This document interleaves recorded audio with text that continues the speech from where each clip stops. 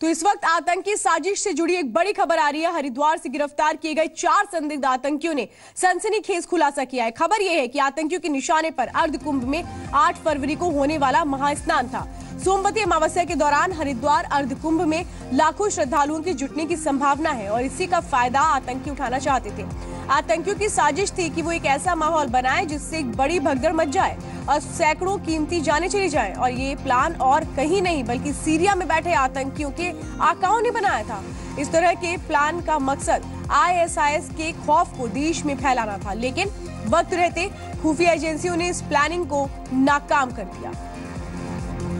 तो सीरिया में आईएसआई के जो हैंडलर्स हैं, ये वहाँ बैठकर प्लानिंग कर रहे थे किस तरह से दहशतगर्दी हर तरफ़ फैलाने की इनकी मंशा थी, जो संदिग्ध गिरफ़्तार किए गए हैं। इनके पास से कई अहम जानकारियाँ मिल रही हैं। अर्ध कुंभ में जो 8 फरवरी को सोमवती अमावस्या का स्नान होना था, ये इनके निशाने पर था।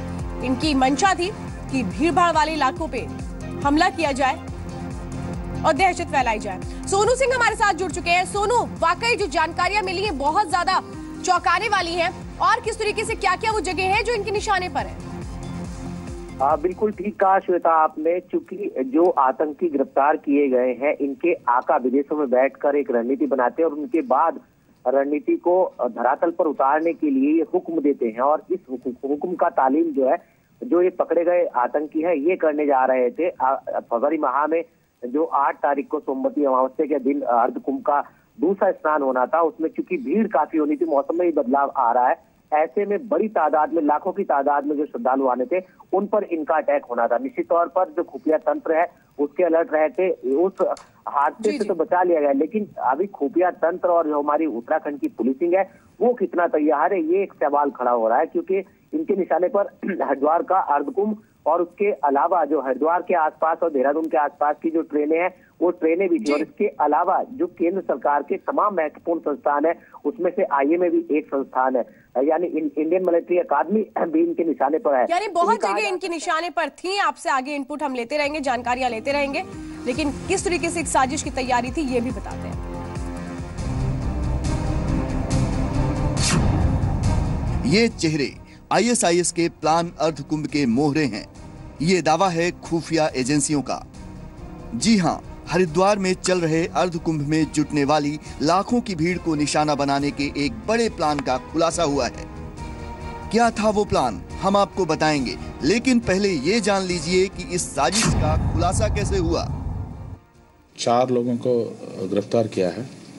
इनका नाम है अखलाक है, एक का नाम, एक का नाम उसामा है, एक जो है मोहम्मद अजीब और दूसरा है मोहम्मद महराज सो इन लोग जो है फेसबुक एवं अन्य सोशल मीडिया का माध्यम से जो है, किसी व्यक्ति के साथ जुड़ा है, आतंक गतिविधियाँ का जो है, उनको द्वारा मोटिवेट किया जा रहा है और इनका पास कुछ प्लान भी था कि इन्होंने जो है हरिद्वार में भी रेकी किया है।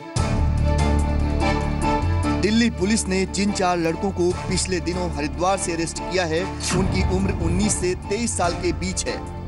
एक लड़का अखलाक रुड़की के पॉलिटेक्निक कॉलेज में थर्ड ईयर का स्टूडेंट है। बाकी तीन रुड़की में पीए के स्टूडेंट हैं। एक संदिग्ध महराज आयुर्वेद का स्टूडेंट है। में कॉल आती है दिल्ली से। उसने अपनी लोकेशन नहीं बताई। मैंने उसे कहा कि जो इसने मेरे से बात करी है कि आप मुझे अपनी लोकेशन बताएँ, मैं भी आपके पास आ सकता हूँ। उन्होंने बस मुझसे इतना पूछा कि आप क्या अखलाक के भाई बोल रहे हैं? कि हाँ मैं अखलाक का भाई बोल रहा हूँ। उनसे मेरी इतनी बात हुई, पुलिस वाले ने उसने मुझसे कहा है कि आप कल दस बजे कॉल कर लें, दिन में। आज मैंने जैसे ही दस बजे उनके पास कॉल करी है तो उन्होंने मुझे तीन घंटे का दिलासा देते हुए ये बोला है कि हम तीन घंटे बाद आप तीन घंटे तक वेट कीजिए, हम उनसे आपकी बात करा दें सूत्रों के मुताबिक पूछताछ में सनसनीखेज खुलासे हुए हैं। पता चला है कि संदिग्ध सीरिया और इराक में आईएस हैंडलर्स के साथ वीओआईपी व्हाट्सएप और फेसबुक के ज़रिए टच में थे। अर्ध कुंभ में 8 फरवरी को ब्लास्ट करने की साजिश थी। न सिर्फ़ अर्ध कुंभ बल्कि 26 जनवरी या उससे पहले दिल्ली एनसीआर में City Walk, Saket, DLF Vasant Kunj और नोएडा के ग्रेट इंडिया पैलेस को निशाना बनाने का भी प्लान था। इस खुलासे के बाद हरिद्वार में सुरक्षा इंतज़ाम को चाक चौबंद कर दिया गया है। जो अभी आपने बताया कि चार लोगों को ले गए, अभी हमारे पास कोई ऑफिशियल कोई इसकी जानकारी नहीं है।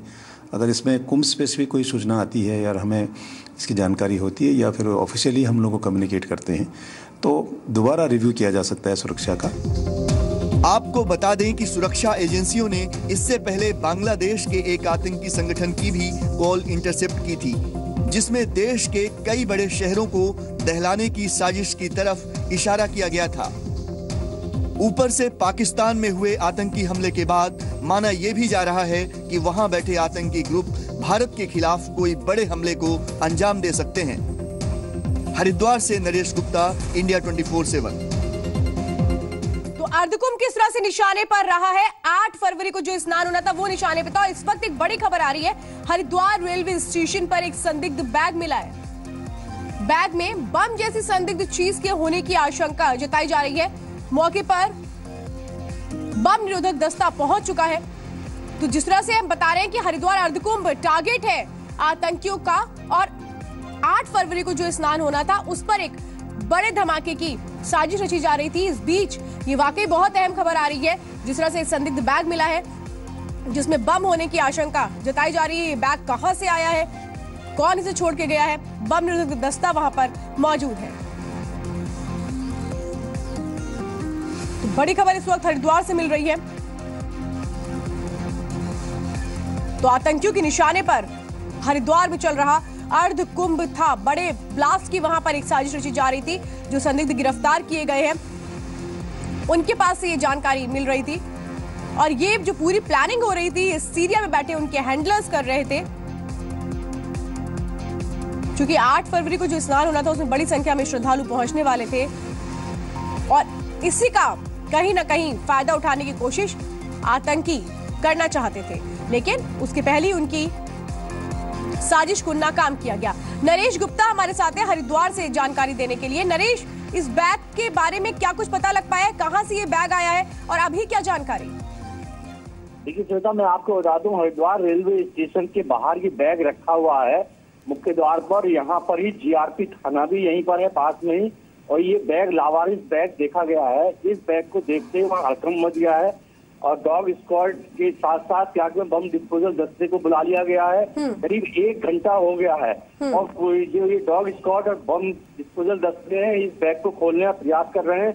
आस पास की दुकानों को भी बंद करा दिया गया है। पुलिस ने बैग के करीब डेढ़ सौ मीटर की एरिया को अपने घेरे में ले लिया है और किसी को भी स्टेशन पे आने जाने की अनुमति नहीं दी जा रही है। आसपास की जितनी भी दुकानें हैं वो बंद करा दी गई हैं। अब ये देखना है कि इस बैग के अंदर क्या निकलता है। तो बिल्कुल नरेश अपडेट हम आपसे लेते रहेंगे। आप नज़र बना के रखिए जानकारी देने के लिए बहुत बहुत धन्यवाद। तो बम मृतक दस्ता वहाँ पर पहुँच चुका है डॉग स्क्वाड भी वहाँ पर पहुँच चुका है और अब ऐसे में सबसे पहले ये देखा जा रहा है कि पूरे इलाके को अभी खाली कराया गया है, दुकानों को बंद करवा लिया गया है और अब बैग खोलने की कोशिश हो रही है, तब पता लगेगा इसके अंदर है क्या। बहरहाल, जो आतंकी पकड़े गए हैं, इनसे पूछताछ में बहुत सारी अहम जानकारियाँ मिली है। आतंकियों के निशाने पर न सिर्फ़ अर्ध अर्धकुंभ था, बल्कि रिपब्लिक डे से पहले देश की राजधानी दिल्ली भी थी इनके निशाने पर। इन्हें सीरिया में बैठे इनके आकाओं ने राजधानी और उससे सटे इलाकों में बड़े मॉल्स को निशाना बनाने के आदेश दिए थे। दिल्ली एनसीआर में Saket Select City Walk DLF Vasant Kunj और नोएडा के ग्रेट इंडिया पैलेस को निशाना बनाने का फरमान दिया गया था।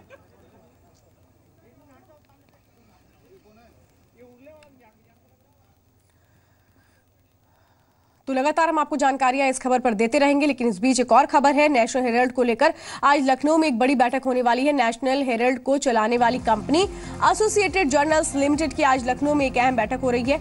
इस बैठक में कंपनी के सात सौ बासठ शेयर होल्डर्स हिस्सा ले रहे हैं। शेयर होल्डर्स की इस बैठक को एक्स्ट्रॉर्डनरी जनरल मीटिंग बताया जा रहा है। इस मीटिंग में शेयर होल्डर्स से एजेएल को नॉन प्रॉफिट कंपनी बनाने की मंजूरी का प्रस्ताव लेना है। उधर लखनऊ में इस बैठक के विरोध की भी तैयारियाँ हैं। हेराल्ड के पूर्व कर्मचारी आज इस बैठक का घेराव करेंगे। तो पूर्व कर्मचारियों का कहना है कि 1999 में लखनऊ स्थित हेराल्ड का मुख्यालय बंद कर दिया गया था, लेकिन दिल्ली में ब्रांच ऑफ़िस 2008 तक चलता रहा और वहाँ कर्मचारियों को बकाये का दुगना भुगतान किया गया, जबकि लखनऊ के कर्मचारियों के साथ ऐसा नहीं किया गया। एजेएल एम्प्लॉयज़ यूनियन ने दुगने भुगतान की मांग की। साथ ही यंग इंडिया कंपनी द्वारा एजेएल की संपत्तियों को खरीदे जाने का विरोध और घोटाले की सीबीआई जाँच की भी मांग की गई।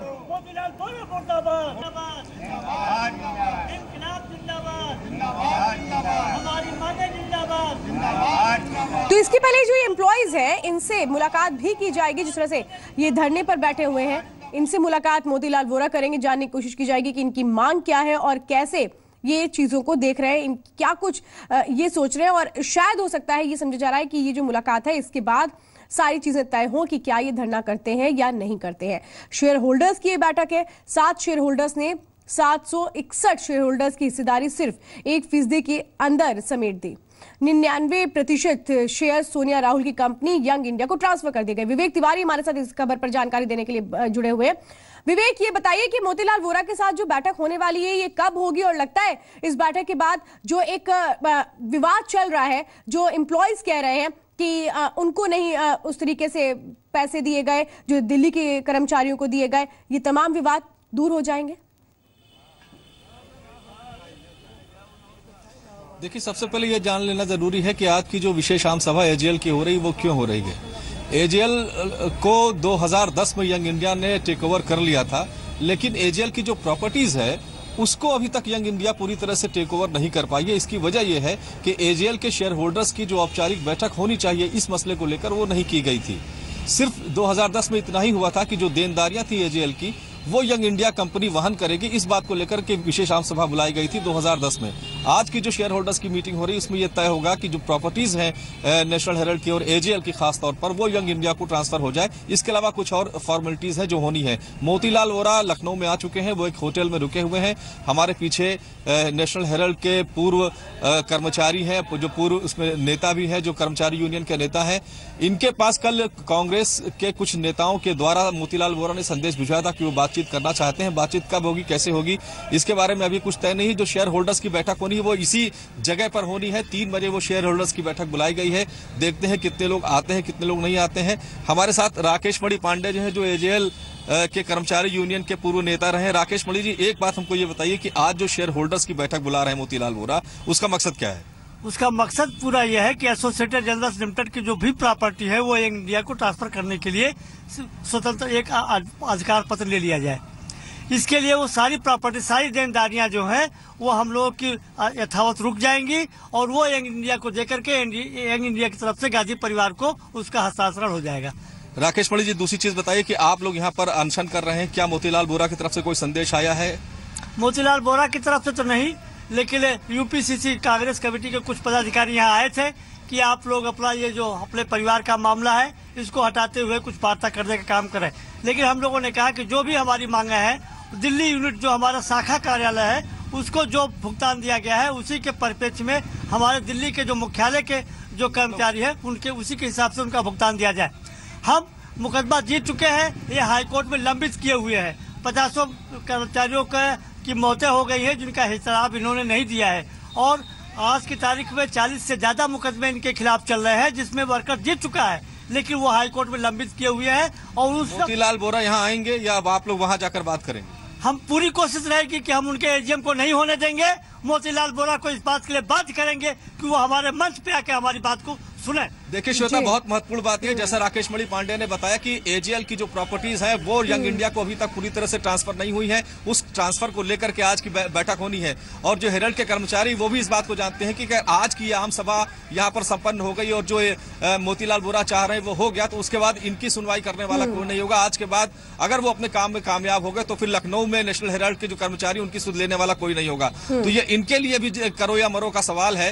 ये चाहते हैं कि ये आम सभा ना हो और वो मामला जो ट्रांसफ़र और प्रॉपर्टीज़ का है वो लटका रहे ताकि इनकी बात भी सुनी जाए। तो अपनी तरफ़ से दबाव बनाने की कोशिश की जा रही है। देखते हैं मोतीलाल बुरा यहाँ आते हैं लेकिन तीन बजे जो बैठक होनी उसमें तो उनको आना ही पड़ेगा। वो बैठक यही पीछे नेशनल हेराल्ड का जो दफ्तर है वहाँ पर होनी बिल्कुल। विवेक अपडेट लेते रहेंगे जानकारी देने के लिए। बहुत बहुत धन्यवाद। पहाड़ों पर बर्फबारी और बंगाल की खाड़ी से नमी लेकर आ रही हवाओं के कारण नॉर्थ इंडिया में कड़ाके की ठंड पड़ रही है। बेघर बेघरों के लिए काम करने वाली एक संस्था सेंटर फॉर होलिस्टिक डेवलपमेंट ने दावा किया है कि ठंड की वजह से दिल्ली में पिछले दो दिनों में सात लोगों की मौत हो चुकी है लेकिन अब तक सरकारी एजेंसियों ने इस दावे की पुष्टि नहीं की है।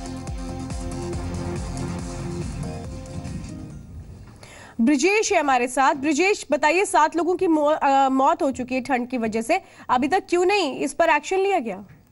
जी देखिए कहीं ना कहीं एक्शन तो तब लिया जाएगा जब सरकार मानेगी कि बद इंतजामी है। लेकिन अगर आंकड़ों की ही अकेले ब्रिजेश मैं आपसे अपडेट लेती रहूँगी और जरा इस वक्त सीधे जयपुर का रुख कर लेते हैं जहाँ पर जी जयपुर लिटरेचर फेस्टिवल का आगाज़ हो चुका है। तो ये सीधी तस्वीरें आप वहीं से देख रहे हैं। दुनिया का सबसे बड़ा साहित्यिक मेला कहा जाने वाला जयपुर लिटरेचर फेस्टिवल जिसका आगाज़ हो गया है 25 जनवरी तक।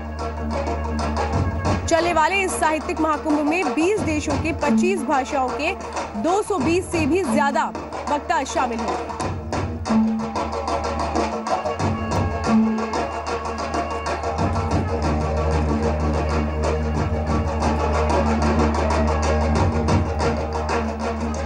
सीधी तस्वीरें आप देख रहे हैं। 2006 में शुरू हुए साहित्यिक मेले में दो लाख से भी ज़्यादा लोगों के आने का अनुमान है। आज जयपुर लिटरेचर फेस्टिवल में एसएल ग्रुप के चेयरमैन डॉक्टर सुभाष चंद्रा की आत्मकथा पर एक चर्चा भी होगी program of the Jaipur Literature Festival with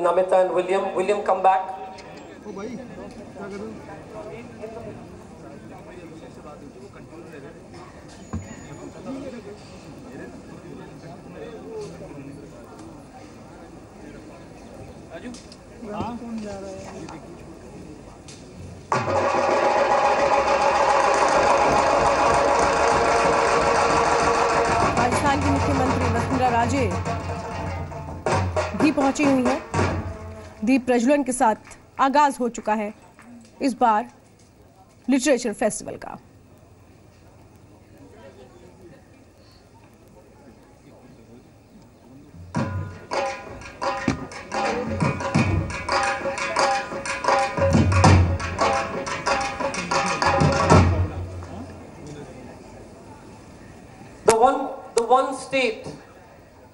One state in this country that seems to understand the linkage between built heritage, arts, culture, and entertainment is Rajasthan. They've also understood that there's an economic incentive and an economic model behind it. If you marry arts, entertainment, and built heritage, you create jobs, you create employment, you build economic growth in the cities and town growth in the cities and towns. Please welcome the Chief Minister of Rajasthan, Vasundhara Raje Scindia, who's understood this and taken this to a new height. Ma'am. I, I have a vested interest. So, very warm welcome to you all. Thank you, Sanjay. Thank you, Namita. Thank you, Willie. A very, very warm welcome to the celebration of words that we have now for the ninth time happening here in Jaipur. Absolutely right, Sanjay. I cannot imagine that nine years ago I sat over here, one could see the lawns, one could enjoy the Darbar Hall. There were 15 people or 20 people at the time. But within a few years, I noticed that when I went to, when I visited the Darbar Hall again, it was crammed, crammed full. And it is the only place which is the greatest equalizer. Because you walked in there, and of course everybody got up and said, What about a chair? And there were so many glares, I could have disappeared into the ground. So, this is the one place that you come to get away from it all. All those wonderful things that you talked about, Sanjay, yes.